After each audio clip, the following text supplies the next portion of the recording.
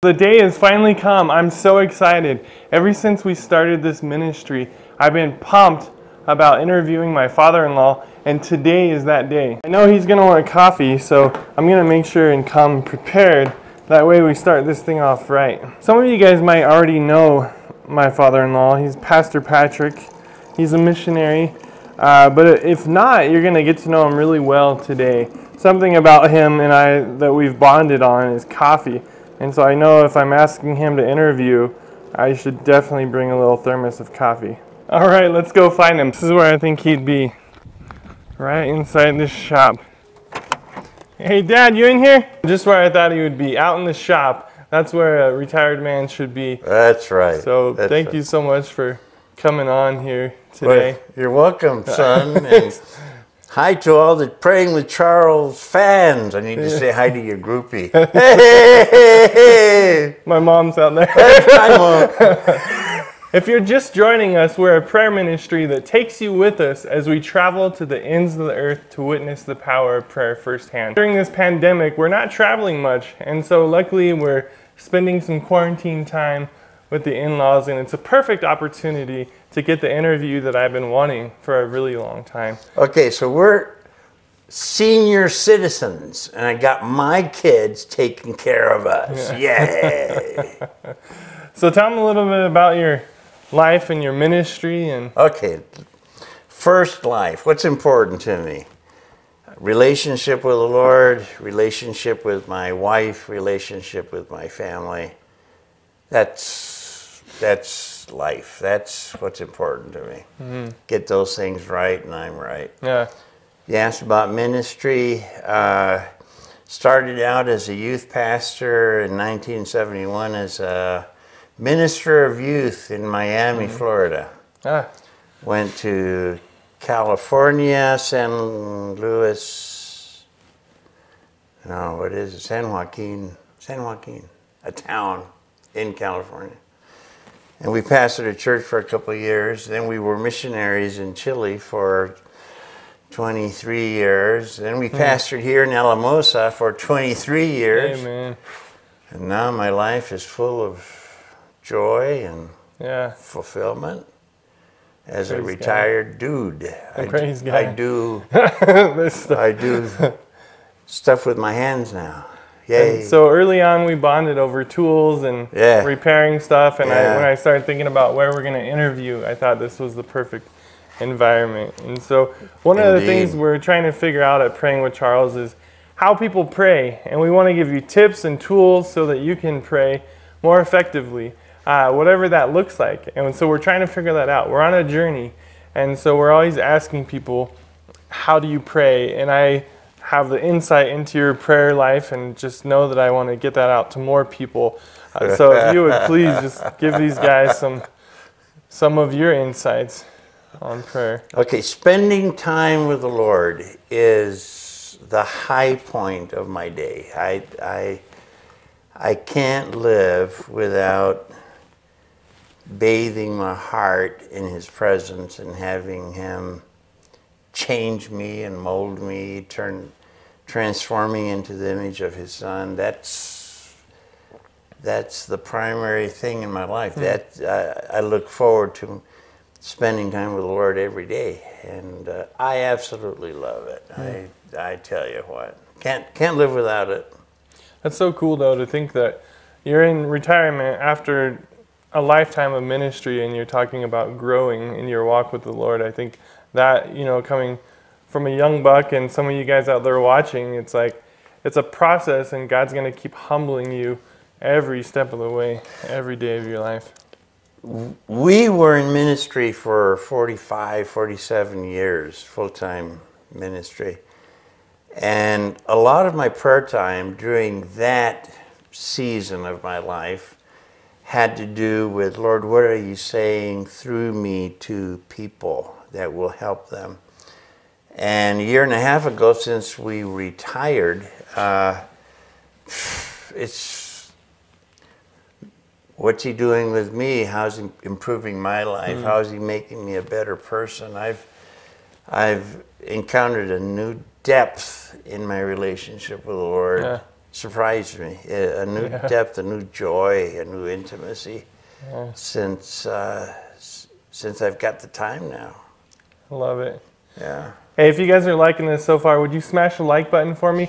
And why don't you put down in the comments if you know Patrick, maybe how he's impacted your life or just how you guys met, maybe if he's baptized you in a river somewhere. Let us know in the comments down below. Only if you like me. If you don't like me, forget it. Oh, Ignore that. So one of the, one of the things that I know you came prepared for today was a story of when you prayed. How did how did God respond? Because we hear scriptures like, "If my people will humble themselves and pray, uh, I will heal their land." And so we know that there's a relationship between God and people, and He wants communication. So what are some times that you communicated with Him, and how did He respond?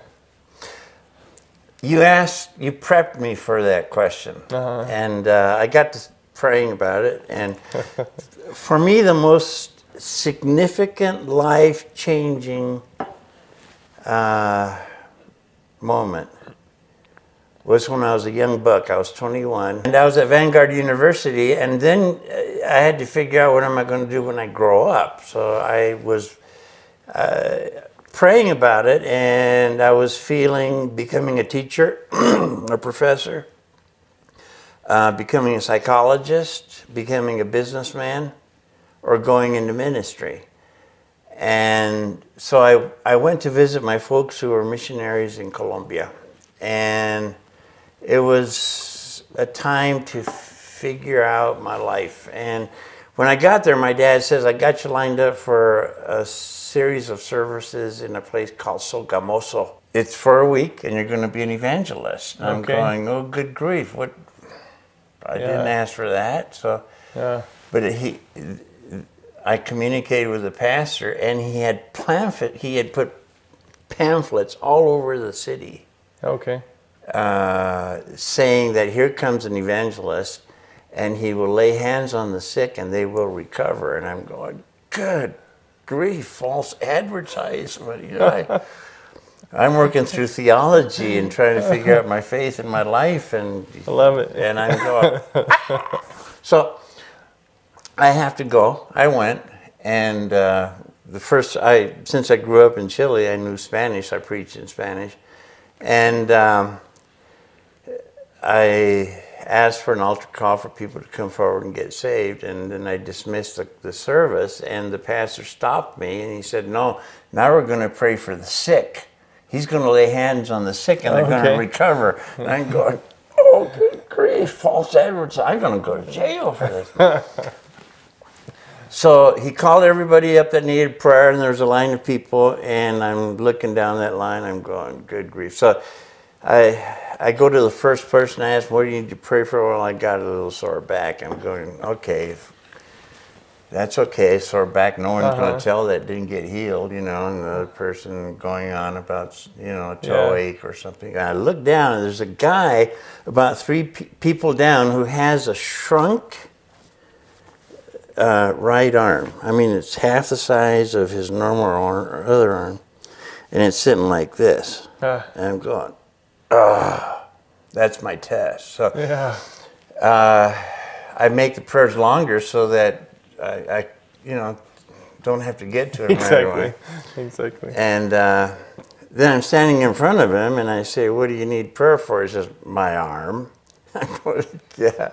So I go into prayer. I switched to English because I had to say a prayer that I really meant, and they, they don't understand English. So my prayer went something like this My God, what am I doing? What did you get me into here? I don't even believe this stuff, and I know it's by faith, and I have no what are you doing? And uh, my eyes were in a slit, so I could. I had my eye on his arm in panic, pretending like I, my eyes were closed, like I was praying, but I could actually see his arm. And his arm started to puff out, started to Oh. inflate.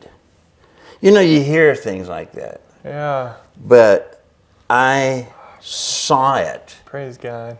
uh, two feet in front of me. I mean, just sitting there. It's incredible. My eyes pop open, and it, he just it just became normal, like his other arm. He started to go like this. And I'm I'm just blown away. yeah, I'm no going, joke.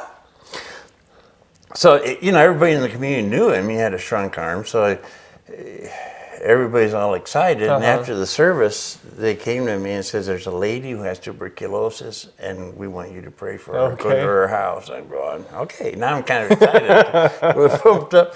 So I go to her house, and here's this lady laying on the bed, has a rag, bloody rag in her hand, just just coughing, just coughing up blood, and. Uh, and so I pray, and nothing happens. Then I switched to English because that worked before. Nothing happened. She just got worse. She just gagging. I finally just left and gone. I don't know what this does to my future in ministry and what have uh-huh. you, but this is terrible. Yeah, yeah. So next day I finished the service and they they call a lady forward and I didn't recognize her. It was that lady. Sheesh. She'd gotten well that night, Uh, had gone to the hospital. They took an x-ray of her lungs. Tuberculosis is a lung disease. yeah. And she put up that thing. Her lungs were completely restored. My goodness. Great. I'm going, okay. So that that changed my life. I it wasn't a thing of huge faith. It was Uh-huh. like, oh God, what are you doing with me? Yeah. And um, then I went into ministry. Amen. Well, then I did do psychology and I did do teaching. I was a professor, and now I'm doing business. So all the four things that Mm-hmm. There I had in my heart That's true. happened. But Yeah. uh, that was a turning point in my life. That's a story of biblical proportions there. I love it. That's so encouraging. And I hadn't heard that before, so I'm super stoked about that. so, right now, as we said, we're in the middle of a pandemic. And so, I want to take a few minutes and just pray. But I want to encourage you guys to hang out with us to the end because I've already prepped him to come with some encouraging advice for you guys. And over the years that I've been married to his daughter, uh, I have just grown and grown and grown spiritually because of the words from Patrick. And I know that people I interact with in the community tell me the same thing. So stick with us to the end, but I want to cover this pandemic just a little bit in prayer. So I'll take it away, and if you just close for us, that would be great. Uh, Heavenly Father, Lord, we just thank you that you're in control. Father, we know that you want to hear the cry of your people's hearts. Right now, Lord, we petition you on behalf of a state, a nation, and even the world, Lord. We know that everyone's in this together, and we ask that you fight our battles for us, Lord. When you launched your people into the desert from Egypt, you made you said these words, none of these diseases. And I pray that none of these diseases affect us. Uh, that goes for our families and that goes for every listener. That this coronavirus, none of these diseases will touch us. I pray that in Jesus' name, amen. Yes, Lord. Such a good God. We serve such a good God. Yeah, He's we ready. do. He's on the throne. He hasn't left. He hasn't abandoned us. He's ready to move in our lives and in your life. If you just ask Him today, it's as simple as that. We know that those who call on the name of the Lord will be saved. And so, as we work towards closing, uh, I'm really interested in what you brought for us today. And whether it's on prayer or whatever topic, I encourage you guys just to lean in a bit because uh, what Patrick brought for you guys. I'm setting you up like the like the missionary did. It's gonna change your life. So Oh, no, going now to switch, this is on the back I'm gonna switch to Spanish.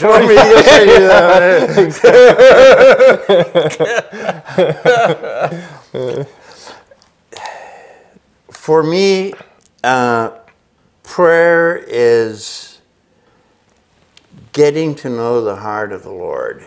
It's uh, knowing what He wants, knowing His kingdom purpose, and how He wants to include me in that.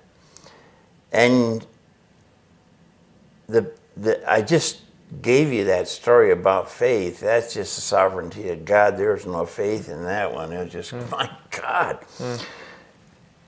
But I, what, what I'm finding in my prayer life is that faith comes by hearing, and hearing by the word.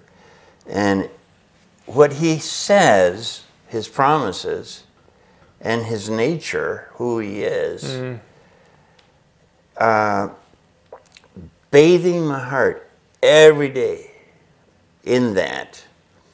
Uh, there, it's called Rhema. You, you, it comes alive, and then you hear it in your spirit, man. And it, it. Uh, we all have a lot of weirdness, some of us more than others. but, spend, but, but spending that kind of time is a great weirdness reducer. Yeah. I mean, he just wants he wants to make us like his son, and believing what he says, whatever it is, finances, uh, marriage, relationships, health, purpose, meaning in life. Who am I? Whatever, whatever the stuff is, getting into that place with the Lord and bathing that in in His presence just produces life, and it produces faith because you're hearing the promise in your inner man, and it it it has transformed me. I can't live without spending time with the Lord. It's I don't do it. I don't do it out of um, obligation or feeling guilty because I know I should and I didn't, don't do enough of it. Uh, I don't even keep track of the time I spend anymore. It's just because I want to spend time with Him and I love doing it. And that changed my life, and I, I encourage you with it. So that was one thing I wanted to say. I also want to say another thing. Uh, how long have you guys been married? 11 years. So I've known them. I've known him for 12 years. I want to encourage you to lean in to Chuck's and Jolene's ministry. This, what God has put on their heart, ha, He's also put an anointing. I know what an Amen. anointing looks like. And this thing is a quality ministry that God is developing. So I encourage you to press into this ministry, pray for this ministry, uh-huh. support this ministry, share, uh, uh, click, uh, donate, yep. click. Uh, Those ones. Definitely. Get, get, behind this thing. It's a God thing. Yeah, God's taken us uh, crazy places. Of course, right now we're not traveling like we want to be but we got things already on the books. And so as soon as this lets up, we're going to be hitting the road and telling the stories that God wants you guys to hear. I'm so encouraged every time I sit down with someone. I've been waiting for this interview for so long. I uh, wasn't sure when it was going to happen, and it just came together perfectly. So I really appreciate you and those kind words. Again, guys, make sure and subscribe. Hit the bell. That way you'll get notified next time we put out a video. Uh, stay tuned for all of our upcoming videos. Make sure if you have any prayer requests, put them in the comments below. I know that I'll get to them. Patrick himself will see them and get to pray over you guys. We'd love to hear some of the stories that you have uh, spending time with him and with Heather and all the ministry they've done. I'm sure they've touched your lives in dramatic ways. But until the next video, guys, keep praying and we'll see you then. Ciao. Hasta salonga.